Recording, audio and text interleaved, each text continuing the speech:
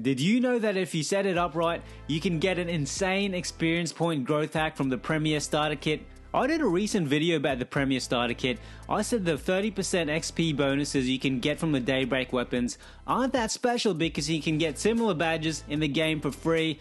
I was wrong, my bad. Thank you to my subscriber Matthew Price who pointed out you can get massive experience point boosts from your Daybreak gear if you combine them with your experience growth badges. Just combine your Daybreak weapon, which gives you 30% experience points, with your Daybreak armor, which also give you another 30% experience points, with the 50% experience growth badge you can get from the second battle in Sebastian's Battle Simulator, or the 30% experience badges you can get from the transitory time space dungeon runs. Combine all these and you'll get insanely rapid experience growth. Run through the transitory time space dungeon with this setup and your team will get jacked in no time. Like and subscribe for more.